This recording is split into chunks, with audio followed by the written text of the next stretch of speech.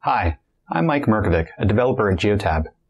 In this video on the Dev channel, I'm going to be showing you a tutorial on the upcoming feature of add-ins for Geotab Drive, our Android and iOS mobile application. Let's get started. You can see on my desktop, I've got a browser open with the Geotab Drive application. This single page application works on multiple platforms, the web, Android, and iOS devices, we're going to learn how to add functionality straight into the Drive app and also leverage the power of the tablet or phone, such as GPS, network and battery status, and notifications. Now let's talk about add-ins. An add-in is a package of web files, HTML, JavaScript, and CSS. And that add-in is dynamically loaded into the Drive app when a driver logs in. The assets, these files, can be stored on your own server or on a cloud such as Amazon S3 or Google Cloud, but we also let you store it on MyGeotab. An add-in has a full API and a lifecycle, as well as with a Geotab drive, we now have a mobile interface as well. So first I'm going to show you an add-in that I made to help you visually understand the add-in experience. The first add-in is called Distress, and it has a button that the driver can press and hold to notify their dispatch that they're in trouble. I'm going to switch back to Drive, go to Settings, and check for updates. Now, when I take a look at the menu, I see that there's the distress and has been added. If I also go check the dashboard, you'll see it as a as a button here. That button will also have in future its own status as well. Now, going to the See Distress, click and hold that button for three seconds to alert a manager. So I'm going to do that right now. And a distress email was sent. Here's an example of the distress signal email that would have gone out. This was all done through an add-in and built into the Drive application. Now we're going to go through a second example, which will have a deep dive into the code. We're making an add-in called Navigator, which shows rest stops, restaurants, and gas stations for drivers, and opens a map based on where the Go device is. We'll go back to My Geotab. We're going to create a new add-in, and here's a JSON structure, JavaScript object notation, with various parameters. You can find out more about this documentation on my.geotab.com slash SDK and look for the developing add-ins section. So I'm just going to replace this with an add-in that I've created. So what you can see here is it's named Navigator. There's only one item so far. Items are basically menu items, but it has an icon which is a base64 PNG file could have been a URL to a remote image, but it's just included now. The path here is important because the path here says it's drive app link forward slash, and that means that it'll appear inside the Drive app, both on the menu and on the dashboard page. Next, the menu name is Navigator, the URL is navigator.html, and there's the rest. Navigator.html doesn't exist yet, so we're going to have to upload it. So I'll go to Files and open up Windows Explorer in the Git project for add-in drive. And here I have three PNGs, a CSS file, and a HTML. And I'll upload all of those into the add-in. Click OK and save and I'm going to go to the Drive application, settings, check for updates, and then if we go to the menu, you'll see that there's a new add-in that's been added for the navigator. Again, visiting the dashboard, you'll see that that add-in will be appear as a button here. So now let's go to Navigator. And here you can see there's a list of different items that the driver can pick. So a gas station, a truck stop, or restaurants.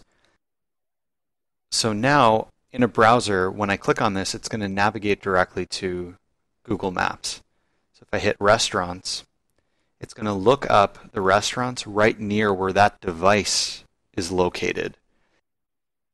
So I've switched to the code, and right now we're looking at the add-in drive repository from GitHub. And under the Navigator project, we can see the images from that we uploaded to my GeoTab, as well as the CSS and HTML. And I'm looking inside the HTML right now. We can see it's a full HTML document. So it's the full document object model, or DOM.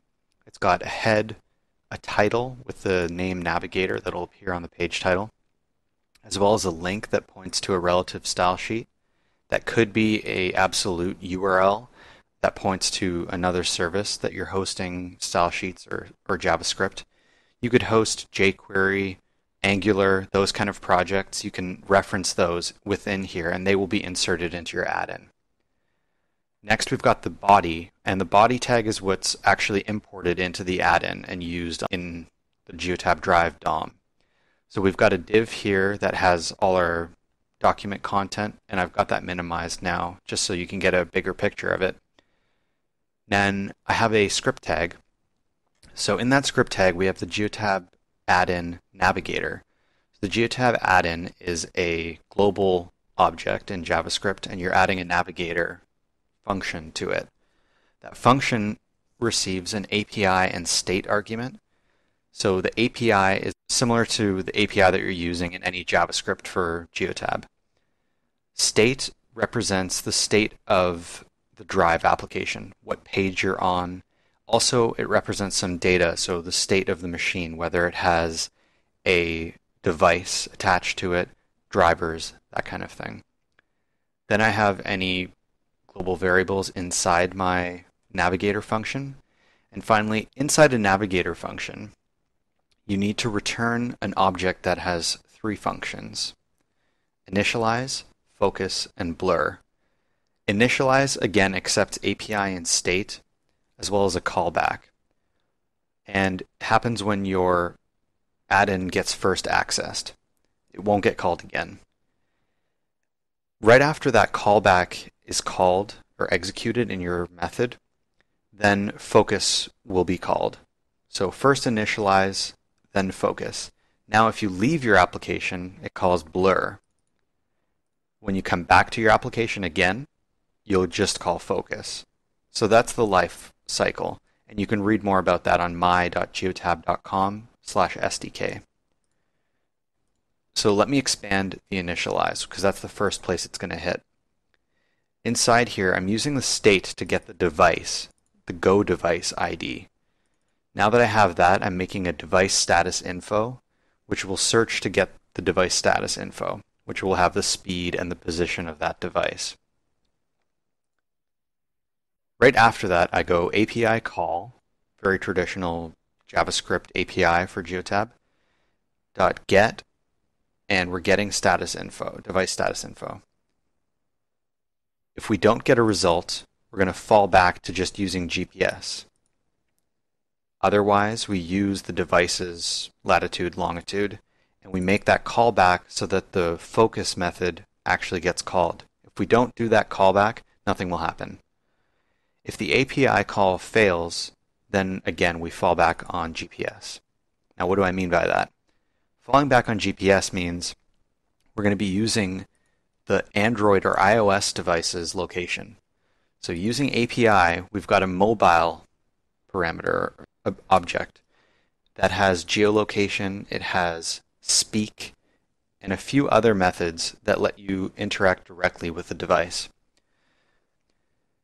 With geolocation, we're doing a get current position, very similar to HTML5's uh, navigator geolocation, but it, it's uh, an interface that we're, we're providing.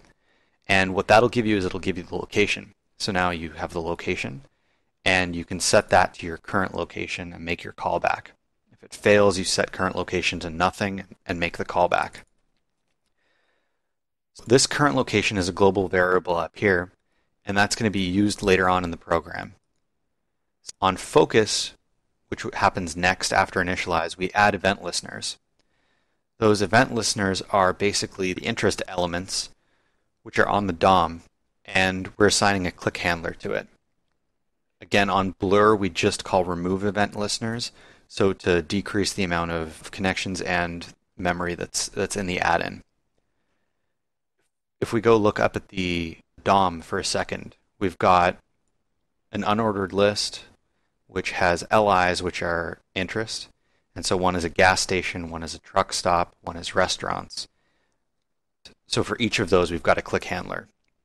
And this data location will get passed in as part of the, the click handler. So we know what the interest is in this interest click. And what we're doing is we're saying if api.mobile.device exists, so if our add-in API can detect that there's a device, so an Android device or iOS, then we can just use the geo scheme and that will open up a native application on Android and, and actually show you Google Maps or whatever program has that as a capability.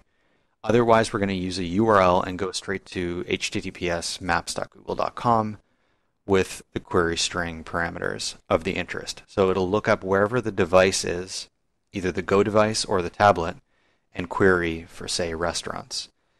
Then we do window location replace. All of a sudden, either the browser window redirects, in this case, or it navigates to the geo scheme. That's it in terms of the code, and so that's what it runs there. We've got some CSS as well, just to make it sort of match and, and fit in with the style. And so now we've got add-ins that work inside GeoTab Drive. I hope this video gets you excited about Drive add-ins with the power and flexibility that it offers.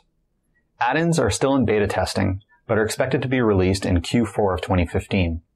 If you'd like to learn more about our SDK, visit my.geotab.com slash SDK, and you can find the source code of this whole tutorial on github.com slash geotab slash add-in dash drive. Thanks for watching.